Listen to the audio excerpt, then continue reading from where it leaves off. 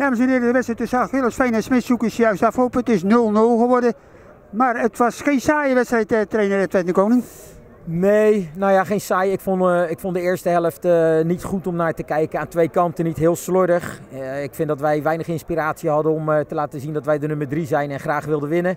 Ehm, tweede helft vind ik dat we dat ja, wel hebben laten zien. En dan, dan staan we beter, dan creëren we ook wel de kansen, maar dan krijgen we de bal niet in. En, ja, dat is gewoon heel vervelend. aan de andere kant, ik kan de spelers niks verwijten. Die hebben ook de eerste helft gewoon hard gewerkt. Alleen, ja, wij maakten niet altijd de juiste keuzes. En Achillesveen is ook geen slechte ploeg. Ze staan weliswaar op dertiende, maar ja, ze hebben de eerste helft ook drie keer de kans gehad om de score te openen. Dus ik ben blij dat zij dat de eerste helft niet deden en wij kregen de tweede helft niet voor elkaar. Ja, dat klopt wat u zegt. voor jullie het eerste kwartier wat ja, ongeïnspireerd is het niet, maar vond ik jullie niet echt geconcentreerd beginnen. Daarna ging het wat beter, hè? Ja, nou ja misschien, misschien waren we wat ongelukkig in de keuzes. we beginnen al binnen, binnen een minuut dat we zelf een corner weggeven. Doordat we nou ja, dachten we doen het wel even. Uh, er is een fase na 32 minuten dat we eindelijk in ons positiespel komen. En, en dan kreeg je, kreeg je ook twee, drie kleine kansjes. Maar echt grote kansen hebben wij niet gehad. En die heeft uh, Achillesveen de eerste helft wel gehad. En de tweede helft, vind ik, hebben we niets meer weggegeven. Uh, behalve de momenten toen we ja, iets meer risico gingen nemen. Ja, dan weet je ook dat je achterin de deur openzet. En daar maakte Veen geen gebruik van. Maar de kansjes die wij krijgen, daar maakten we ook geen gebruik van. Ja, jullie hadden wel met de eerste helft nog, vond ik, die, die vrije trap. Die werd er schitterend uitgehouden door de keeper op plaats nog. Ja, ja Luigi Bruins, uh, ook Rijn Koolwijk, uh, hebben alle twee een fantastische trap. En, uh, die hebben, dat zou niet de eerste keer zijn dat ze zo scoren. Maar de keeper deed het nu goed, die redde hem. En ja, dat is jammer voor ons. Dat is een individuele kwaliteit die wij gelukkig in het team hebben. Maar ja, de keeper van Achillesveen heeft ook individuele kwaliteiten lieten zien. Ja, dat klopt in ieder geval. Ja, en dan in de tweede helft, ja, toen vond ik jullie zeker wel beter dan in de eerste helft. de, de paasjes waren wel beter, ook toen wel soms onzorgvuldiger. En als soms als er iets directer gaat, had het misschien wat gevaarlijker geworden. Hè? Ja, uh, wij, wij speelden op een iets andere manier, ook een beetje aangepast aan Veen om voor onszelf er sterker uit te komen. Maar we hadden daar uh, zeker in het begin heel veel moeite mee. Tweede helft vind ik wel dat we wat dominanter waren en uh, vaker de bal hadden. Maar ja, dan moet je uiteindelijk wel die goal een keer gaan maken en dan weet je ook dat Veen gaat komen. Maar ja, zolang wij die goal niet maken, hoopt Veen op een punt. En wij hadden niks aan een punt in de strijd voor het kampioenschap. Nee, ik weet niet hoe de uitslagen worden, maar ja, jullie moesten eigenlijk wel een drie punten hebben. Wij hadden voor onszelf drie punten nodig om in ieder geval, uh, ja, Capelle speelt gelijk, uh, dus daar hadden we overheen kunnen stappen. nu komt alles dichter bij elkaar. Nieuwe Hoorn sluit weer aan, Portugal ARC hebben gelijk gespeeld en Kloeting loopt verder weg. Dus ja, voor de periode en voor de stand hebben we eigenlijk niks aan een punt vandaag. Nee, dat klopt. Ja, het was ook eigenlijk een wedstrijd waar verdedigend de organisaties uitstekend stonden. Ja, ja, uh, dat klopt. Uh, daardoor was het misschien ook wel een saaie wedstrijd. En uh, de strijd werd op het middenveld gestreden. ja, daarin vond ik dat wij de tweede helft wel de bovenliggende partij waren aan de bal. Maar om dan uiteindelijk de muur van Veen te breken, dat is ons, ja, ons niet gegeven vandaag. Nee, dat klopt. Dus allemaal met al twee sterke organisaties. 0-0. Ja, ik vond het niet helemaal saai. Want, ja, komt misschien door de stand. En ja, ik vond ook een aardige scheidsrechter. Ja, uh, ik heb nog nooit door de scheidsrechter gewonnen of verloren. Dus uh, ik heb, hij, is van, hij is mij niet opgevallen. Dus uh, ik vind dat hij het goed gedaan heeft. En ja, twee ploegen die aan elkaar gewaagd zijn op het veldspel. maar ja, goed, nogmaals, wij wilden graag winnen. En we hebben niks aan een gelijkspel. Maar we hebben vandaag ook niet, niet verdiend, meer verdiend te winnen dan Achillesveen. Dus ik denk dat de wedstrijd uiteindelijk in een terecht gelijkspel geëindigd is. Helaas voor ons. Ja, daar ben ik voorkomen met u eens. En ik zou zeggen, op naar de volgende week weer. Dan zijn misschien weer de kansen weer wat beter. Hè?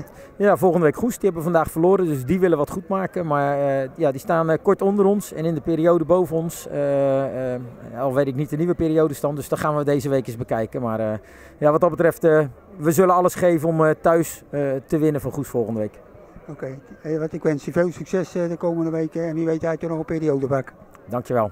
Oké, okay, graag gedaan. Ja, trainer Dennis van der Steen, 0-0. Ik denk een terechte uitslag. Uh, ja, uh, misschien wel uh, gelijkspel is wel terecht, denk ik. Ja. ik denk dat we beide kanten wel uh, doelpunt konden maken. Ik denk dat wij er iets meer kansen gecreëerd hebben dan, dan Smitshoek. aardig goed staan. We hadden een beetje moeite met, met de, voorzetten die kwamen. Dat in het middenveld, vooral een, een Bruins uit ging zakken naar de zijkanten. En die manier bal in ging, ging slingeren. En ook Kolwijk deed dat aan de linkerkant ook. Hè, dus, dus nou, hadden we in de rust al uh, met elkaar besproken. Daar zag je gaan, de eerste wel van gebeuren. Dus waardoor we eigenlijk een beetje in het middenveld gingen zoeken. Ze gingen een beetje omheen voetballen. Ja, en daar hadden we even, even in het begin even geen grip op. En, maar ja, die zag wel elke tweede bal die je kreeg, omdat natuurlijk het middenveld minder bezet was, kon je in de omschakeling wel een keer toeslaan. En ik denk in de eindfase hadden we daar misschien wat meer gebruik van moeten maken. Maar goed, dat is denk ik wel wat we nagelaten hebben. Maar puntje... Ja, het waren twee ploegen die zeker achterin met een goede organisatie speelden. Hè, want met weinig weggeven. Het enige wat mij opviel, jullie hebben goede buitenspelers, vind ik tenminste. En ze doen leuke acties ook. Maar soms, waarom niet die ballen erin, denk ik. Er staan er drie, vier man en Ja, nee, dat, nee, maar dat, dat, dat is in die eindfase. Dat het overzicht misschien even uh, ontbreekt. En uh, ja, dat was denk ik uh, een, een, van de punten, een van de punten waarbij je op doelt dat wij in de eindfase het ook niet af kunnen maken. Dat we dan even net het even niet zicht hebben. En voor mij deden we het één keer wel. Hè, dat Justin aan de andere kant de bal speelde op, op Jari, die nam hem aan. de bal lag wel heel erg onder hem en die schoot hem diagonaal over de goal heen. in principe was dat een, een hele goede, hij kon ook zelf schieten, maar hij lag hem goed breed. Ja, die momenten uh, lagen er wel. En het is natuurlijk van onze kant heel makkelijk zien. Hè. Dan, uh, ik weet niet of zij het zelf ook uh, het overzicht hadden. Ja, uiteindelijk heb, je, heb je daar wel gelijk in. En, maar goed. ja, het is ook niet anders. Ja, ja, ik zeg, jullie kwamen aardig uit de startblokken. Want ik vond uh, ook even slordig beginnen. Gelijk al binnen een paar seconden corner weggeven en die bal. En dat maar ja, jullie konden dat niet uitdrukken in, in kansen of zo, hè? Nou, kijk, het belangrijkste, de eerste, de eerste stap is bij ons gewoon eh, zorgen dat de organisatie verdedigen het goed hebben staan. Nou, dat, dat, dat, dat, dat is in orde. Hè. Dat, daar zijn we echt wel in gegroeid.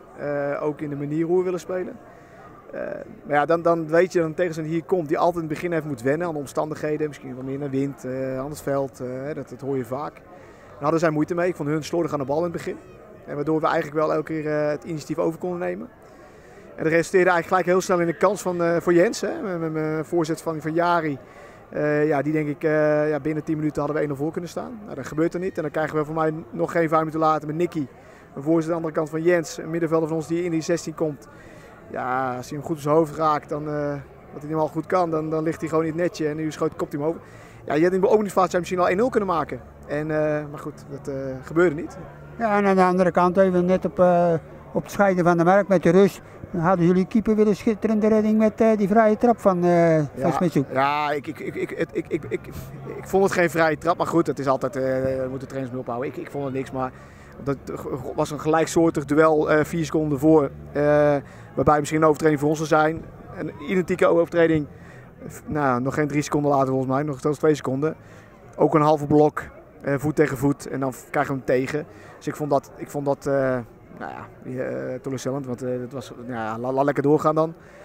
Maar goed, het is wel een kans gelijk voor hun. En uh, ja, je weet dat Bruins uit dat soort situaties, ja, dat heeft hij vroeger in de Eredivisie en Eerste ook laten zien.